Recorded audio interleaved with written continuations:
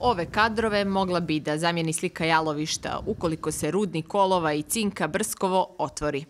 Planiran je površinski kop, a iznad površinskog kopa još hidroakumulacija koja će koristiti vodu rijeke Rudnice za potrebe e, prerade rude na flotaciji. Dovoljan broj razloga da građani Mojkovca budu ustrašeni e, s onim što im se planira iznad njihovih kuća, iznad njihovih glava e, i da opet prolaze jednu traumu.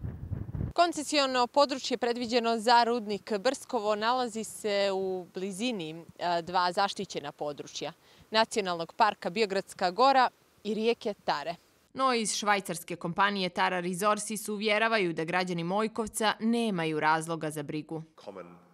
Nećemo praviti jelovište kako je ranije postojalo. Neće biti uticaja na vodu za piće u gradu, a primijenit ćemo i sve standarde, tako da ni prašina neće biti problem za lokalnu zajednicu. Građani, međutim, zbog lošeg iskustva s prethodnim jalovištem, ne vjeruju ovim obećanjima. Uništio je rudnik mnogo mladih ljudi.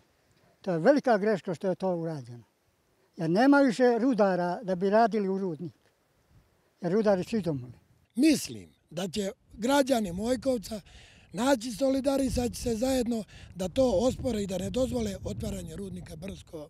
Osim što bi rudnik direktno uticao na zdravlje stanovništva, rukovodilac ski centra Žarski Ljubomir Vukadinović tvrdi da bi otvaranje rudnika zatvorilo priču o turističkom razvoju ovog kraja. Na ovoj karti vidimo blago osjenčeno detaljni plan opštine Mojkovac, površine opštine Mojkovca.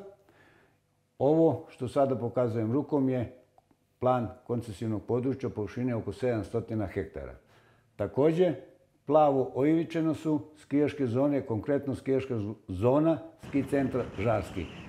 Iako je završetak radova na skijalištu na čekanju, što je posebna tema, ukoliko bi se rudnik otvorio, Vukadinović objašnjava da bi turisti na skijalištu imali jedinstvenu ponudu. Nažalost, imali bi priliku ako dođe do otvaranja rudnika i iskopavanja tih 700 hektara te površine i devastacije toga prostora, e, imali bi priliku da sa vrha Bjelogrica sa skijama pravo idu u jalovište i da napravimo jedan horor turizam. Kakav je stav Ministarstva kapitalnih investicija o ovom projektu nije smo uspjeli da saznamo. S druge strane, ministarka ekologije prostornog planiranja i urbanizma Ana Novaković-Đurović kaže da su u tom resoru utvrdili nacrt za prostorno planiranje i sada je obaveza vlade da donese odluku o koncesiji. Vlada će donijeti kao i do sada i u slučaju Sinjajevine, Komarnice i mnogih drugih odluke koje su isključivo u skladu sa ekološkim standardima. Podsjetimo i Komitet UNESCO pozvoje Crnu Goru da ocjeni uticaj koji bi izgradnja rudnika olova i cinka u Mojkovcu kroz koji prolazi rijeka Tara mogla imati na okolinu.